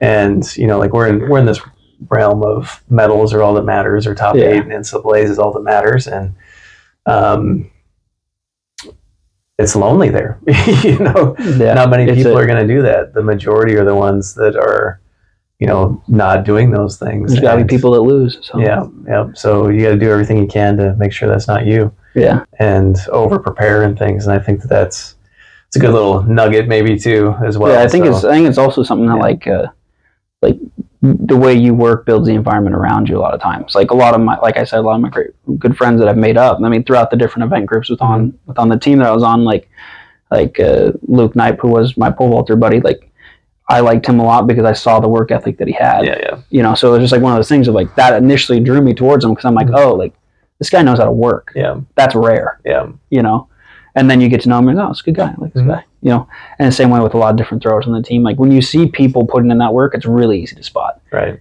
And then once you become the guy that works hard, it's really easy to spot people that are not working hard. But when you're the one that's in the limbo, you're like, are these the guys that work hard? Are these the guys that mm-hmm. work? hard? I'm confused. Yeah, But if you're showing up every day, you're going to notice when someone's Yeah. not there. yeah, Normally, people don't like when you tell them that they weren't there, but yeah.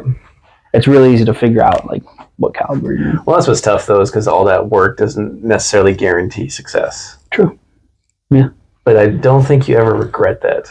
And No. so I want. This is a lot of why I do this podcast. You know, nobody regrets it. Nobody sits around and says like, ah, I, I regret now. You know, Yeah, I regret like working you know, hard. once once uh, once my athletic career is done, like the main thing I want to know is that I gave it everything. Yeah, yeah, I mean, because the worst thing you could ever have is regret. Yep, exactly. So it's just one of those things. Like, yeah, I gave it every chance I could to be Mhm. successful, and then you get to sleep well at night and Yeah. tell your kids how you're great, but not Yeah. the best, maybe, Yeah. or maybe the best. Who knows? Well, and then like you're like, well, maybe I didn't get there because I was smaller, or I didn't have resources, or something like that. You're like, well, I just did the best I could. Yeah, and at least you get to say like, the resources I had, did the greatest thing I could. yeah, With exactly. the body I had, did the best thing I could. You know, being able to make those decisions and you know develop throughout that, I think is is like the ultimate goal within throwing Oh, for sure. or just sports, Yeah, life, for sure. you know, For sure. everything.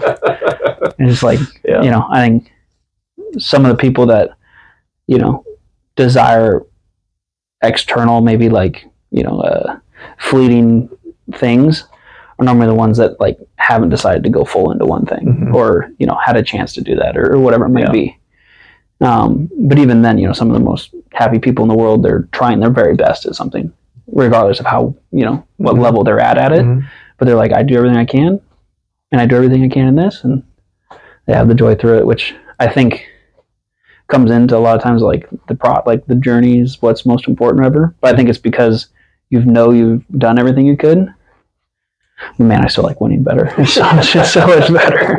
It's so much doing. Winning doing- is pretty fun. Winning It's- is fun. Yeah. it's like one of those things where like, yeah, like you're having fun doing it now, but do it when you win, and it's so much better.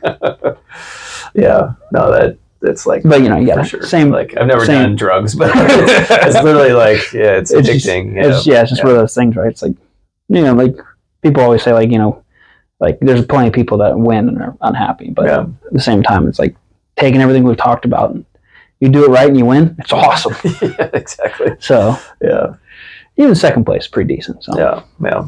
But sure. uh, yeah, Yeah. that's about all I got. Anything else you want to say? I think it's about it. Yeah. I think it's about it. Cool. Well, thanks for taking the time. I know. Of course, I know you're busy. Got a got a family moving and stuff. So a lot of life ahead. yeah, A lot, of, a lot of craziness. yeah. All good though. yeah. Oh, thanks. That's I the fun part appreciate this having having the time to to catch up and Yeah. stuff. So yeah. yeah. Anything else? We'll call it there. Yeah. Call it there. Cool.